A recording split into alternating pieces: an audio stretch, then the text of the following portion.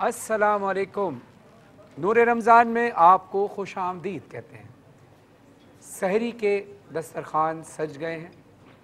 لاہور میں اب سحری کا وقت ہو گیا ہے کچھ دیر میں۔ لاہور کے وقت کے مطابق سحری کا اختتام ہو جائے گا اور کراچی والے بھی سحری کی تیاری کر رہے ہوں گے۔ ہم یہاں پر موجود ہیں ابھی۔ تمام ہمارے حاضرین اس وقت سحری کر رہے ہیں اور آپ اپنے گھروں میں سحری کر رہے ہوں گے۔ ہم چاہتے ہیں کہ اب سحری کے دوران ہی تھوڑی سی گفتگو جیسے ہم نے کل کی تھی نعت خوانی کے حوالے سے۔ نعت خوانی کے حوالے سے سبھی رحمانی صاحب سے ہم استفادہ نعت کی صورت میں بھی کرتے ہیں۔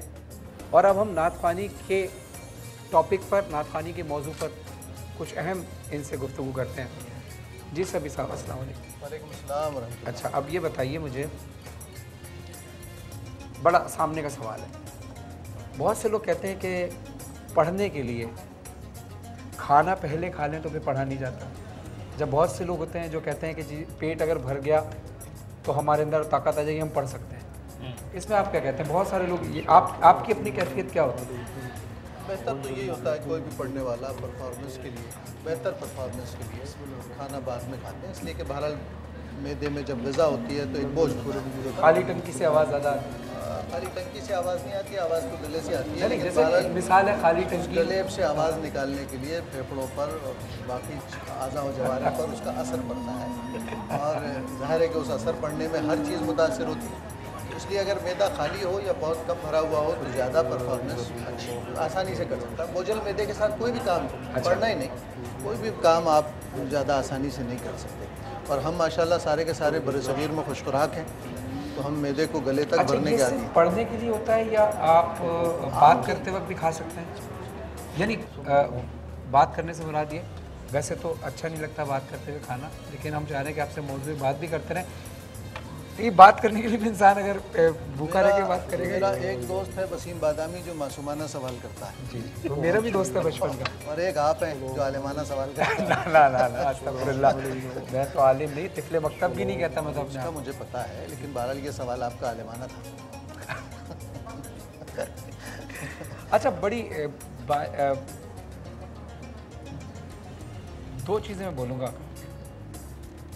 نعت خوانی نعت پڑھنا جیسے سلام پڑھیں نوحہ پڑھیں مرثیہ پڑھیں۔ جی اللہ اچھا قرت کا بھی ایک خاص میٹر ہوتا ہے خاص ایک انداز ہوتا ہے اس کا۔ فرانسسکو آپ نے کبھی قرت اس میں ایک پہلو اور بھی میں ڈسکس کر دوں کہ یہ جتنے ہماری روحانی عبادات ہیں نا جی۔ اور ان کا تعلق آواز سے بھی ہے۔ جی۔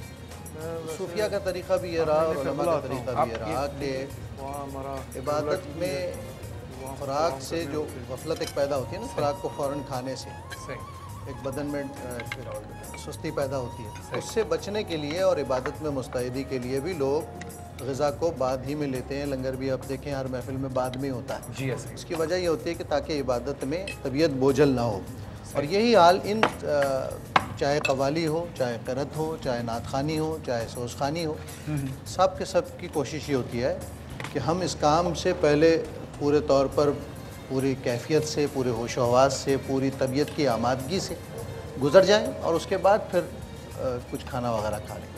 تو اس کا ایک پہلو یہ بھی ہے جو روحانی پہلو اور صوفیہ بھی اس بات کا اہتمام کرتے تھے اچھا، کہ ذکر کی محفل میں خاص طور پہ سما کی محفل میں اگر وضو کر کے بیٹھے ہیں عشاء سے تو پھر صبح فجر بھی اسی وضو سے نماز پڑھنی ہے۔ تو ظاہر ہے کہ اگر آپ غذا لیں گے تو اس کے ساتھ پھر انسانی مسائل بہت سارے اچھا جیسے ہم نماز پڑھتے ہیں پہلے وضو کرتے ہیں پاک ہوتے ہیں۔ قرآن پڑھتے ہیں پہلے وضو کرتے ہیں پاک ہوتے ہیں۔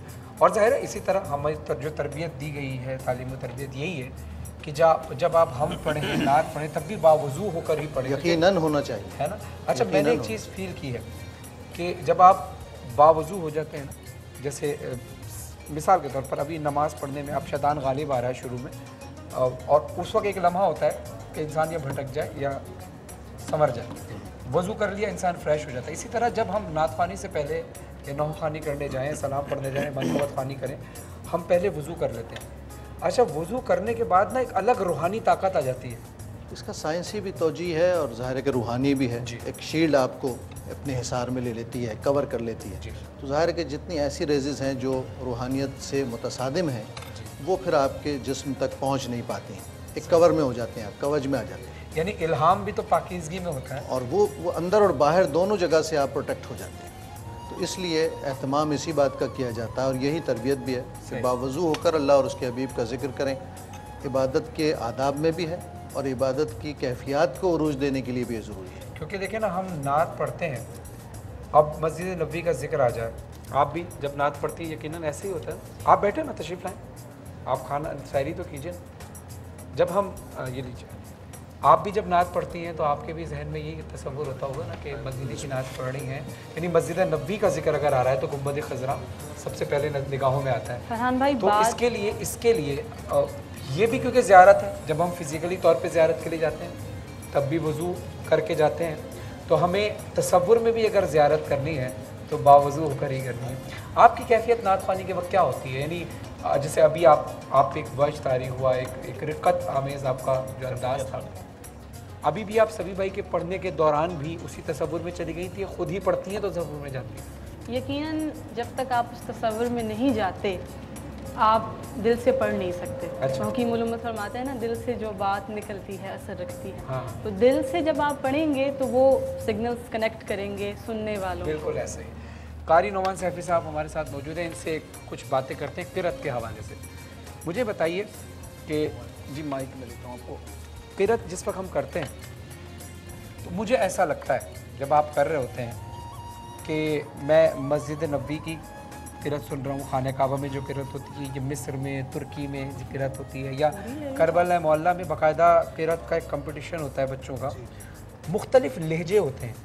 تو یہ لہجے آپ کو اس وقت بنانے پڑتے ہیں، یا اس کی پریکٹس پہلے سے ہوتی ہے، یا آواز کو چینج بھی کرنا پڑتا ہے۔ ایک تو لہجہ پلس آواز یعنی اگر آپ ترکی کے انداز میں پڑھ رہے ہیں یا آپ لبنان کے انداز میں پڑھ رہے ہیں یا سعودی عرب کے انداز میں پڑھ رہے ہیں تو انداز بھی فالو کرنا ہے یا آواز بھی اس کے حساب سے چینج کرتا ہے بیسکلی سات مقامات ہیں سات مقام اچھا۔ پہلا ہے بیات صحیح۔ ساتھ ساتھ نام بھی بتاتا ہوں آپ کو۔ بیات رست سیکا نہاون مائک قریب عجم صبا حجاز۔ سات۔ سات مقامات ہیں اور بڑے جو قرہ یا آپ اسے لہجے بھی کہہ سکتے ہیں۔ سات لہجات صحیح۔ اسی میں ہی پھر انسان پڑھتا ہے اس پہ پریکٹس کرتا ہے۔ یعنی قرات ان سات لہجوں میں ہو سکتی ہے اور۔ ہوتی ہے۔ ہوتی ہے۔ اب کس قاری کا کیا ذوق ہے؟ وہ کس لہجے سے زیادہ۔ مانوس ہے اور اس میں زیادہ آسانی سے پڑھ سکتا ہے؟ وہ اب جیسے یہ بتائیں گے کہ یہ کس لہجے آپ نے نعت خوانی بھی ساتھ ساتھ آپ نے کیا ابھی مجھے آپ بریک میں ایک نعت سنا دیں۔ ہم آپ سے ٹرانسمیشن میں کسی وقت بھی ایک نعت بھی سنیں گے کیونکہ قرت تو آپ کرتے ہیں۔ اب آپ نے نعت کی صورت جیسے قرآن کی صورت میں اب آپ نے نعت بھی سنانی ہے۔ سر یہ پڑھتے ہیں عربی کا درود پاک۔ جی۔ عربی کا ترکی لہجے میں۔ اتنا آؤٹ کلاس ہے کہ میں نے ہاں، ہاں، کبھی۔ اتنا نہیں سنا اتنا بہت سنوائیے اچھا۔ لہجے سے بھی ایک کیفیت تاری ہوتی ہے انسان کے اوپر۔ اچھا اب ہم ایک چھوٹا سا مختصر سا وقفہ لیتے ہیں۔ یہ ہماری گفتگو بھی چلتی رہے گی اس کے بعد کلام بھی ہوں گے۔ اتنے آپ سحری کر لیں ہم بھی سحری کر لیتے ہیں۔ پھر ہم آپ سے تھوڑے سے وقفے کے بعد ملتے ہیں۔ دیکھتے رہیے نور رمضان۔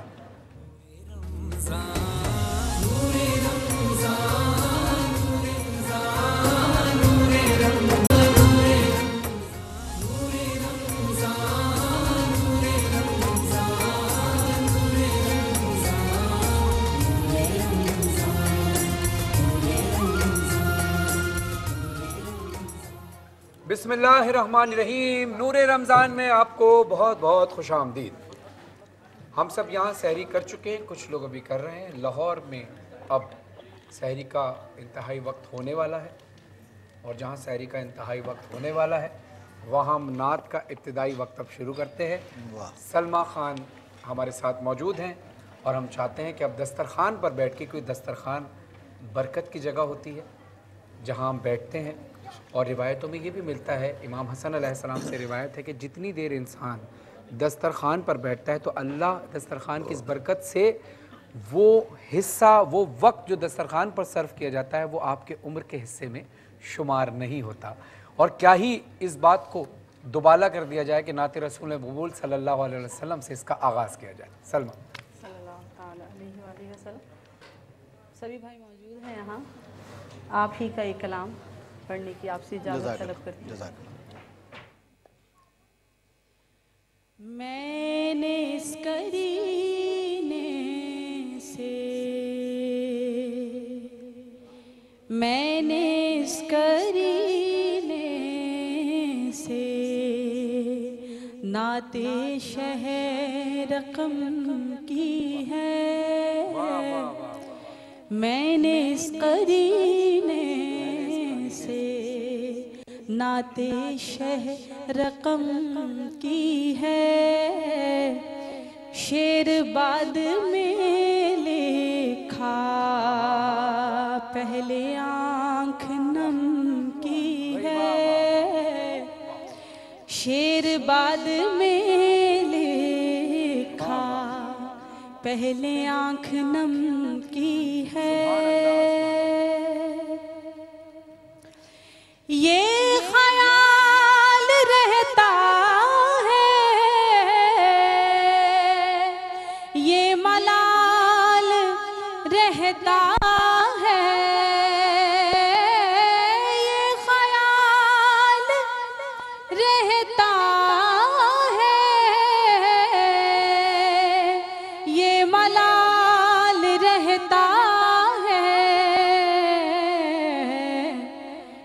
مدحت نبی میں نے۔ جتنی کی ہے، کم کی ہے۔ مدحت نبی میں نے۔ جتنی کی ہے، کم کی ہے۔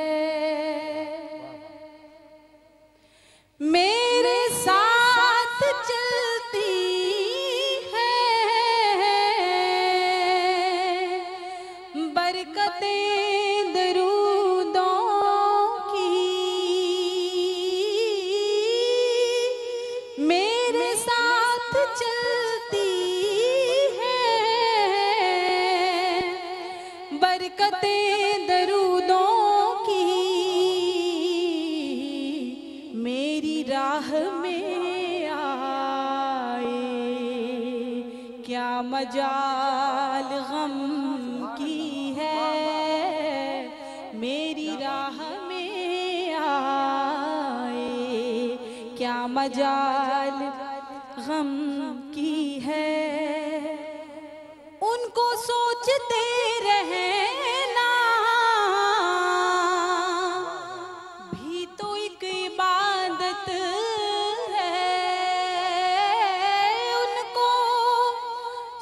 سوچتے رہنا بھی تو ایک عبادت ہے۔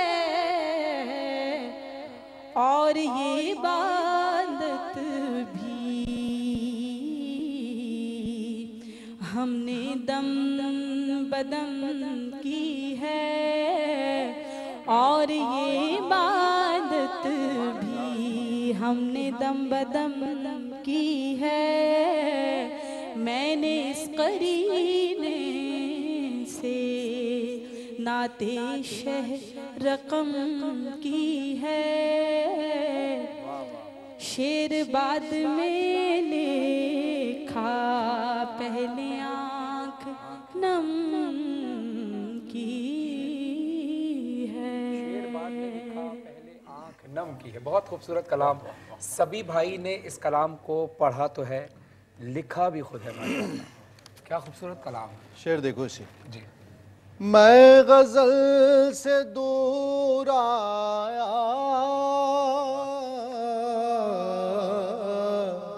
جب سے یہ شعور آیا۔ میں غزل سے دور آیا۔ جب سے یہ شعور آیا نعت مصطفیٰ لکھنا آبرو قلم کی ہے شیر بات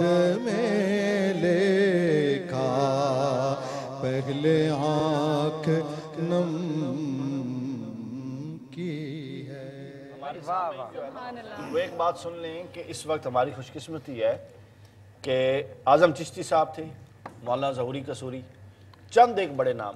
اس وقت ہم خوش قسمت ہیں کہ عالم نعت کے اندر، پاکستان کے اندر، پوری دنیا کے اندر جو چند ایک ہاتھ پہ انگلیوں پہ گنے جا سکتے ہیں لوگ، چوٹی کے سر فہرست۔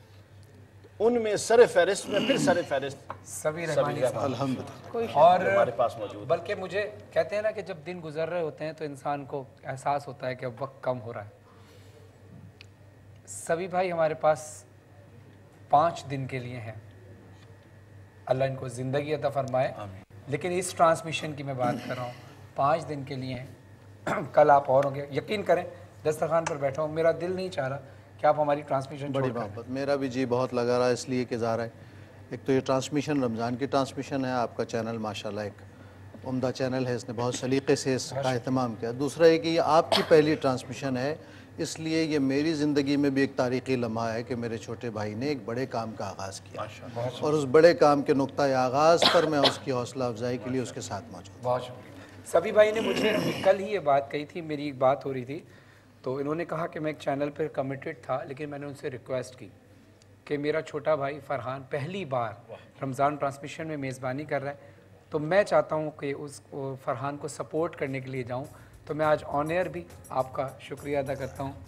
اور میں چاہوں گا کہ آپ گاہے بگاہے اگر دوبارہ وقت ملے ہماری ٹرانسمیشن کے لیے تو آپ ضرور کراچی سے لاہور تشریف۔ ضرور ضرور ناظرین آپ دیکھتے رہیے ابھی ٹرانسمیشن ختم نہیں ہوئی ہے ابھی بہت ساری چیزیں آپ کو ملیں گی علماء کرام کی گفتگو بھی ہوگی سما۔ محفل سما بھی ہوگی اور نعت رسول مقبول صلی اللہ علیہ وسلم بھی ہوگی انشاءاللہ۔ دیکھتے رہیے نور رمضان اتنے آپ اذان کا وقت ہے آپ بھی نماز پڑھیے قرآن کی تلاوت بھی کیجیے اس کے بعد پھر وقت ملے تو ٹیلی ویژن دیکھیے نور رمضان ہمارے ساتھ۔ رمضان۔